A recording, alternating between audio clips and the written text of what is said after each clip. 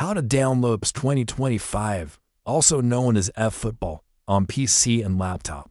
First, open a web browser. Next, go to LDPlayer homepage.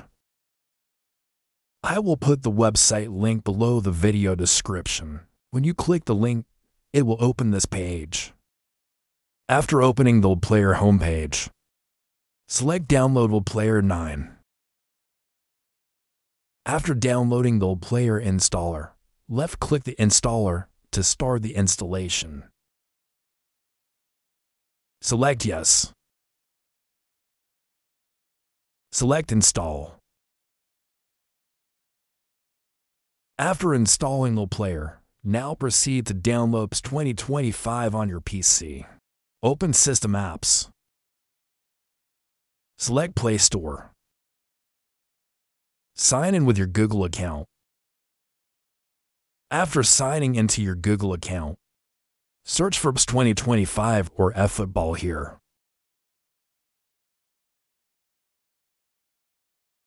Click on Install to download the game eFootball on your computer.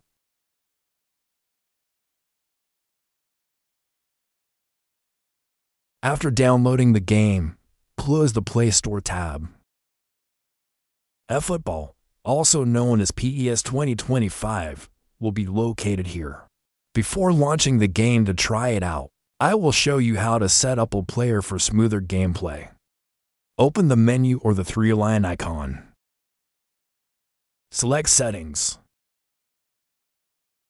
For high-end computers, set it to 1920. For mid-range computers, set it to 1600. For low-end computers, set it to 1280 or 960.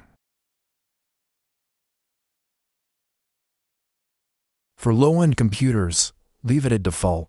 For high-end computers, select 120 FPS. Choose the appropriate FPS. For low-end computers, leave it at default. For high-end computers, enable sync. For low-end computers, do not enable it. Leave CPU and RAM at default. For device model, select the best one available. Now we have finished the setup. Select Save Settings. Select Restart Now. Now I will launch the game to try it out. Now I have successfully launched eFootball on PC. To set up the controls, select the keyboard icon. Set up the controls here.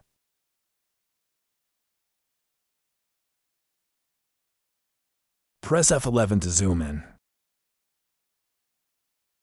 Press F11 to zoom out. That's it. I've finished showing you how to download PES 2025, also known as eFootball, on PC and laptop. If you found the video helpful and enjoyable, don't forget to give it a like and share it as well as subscribe to the channel. Thank you very much. Hello, and see you later.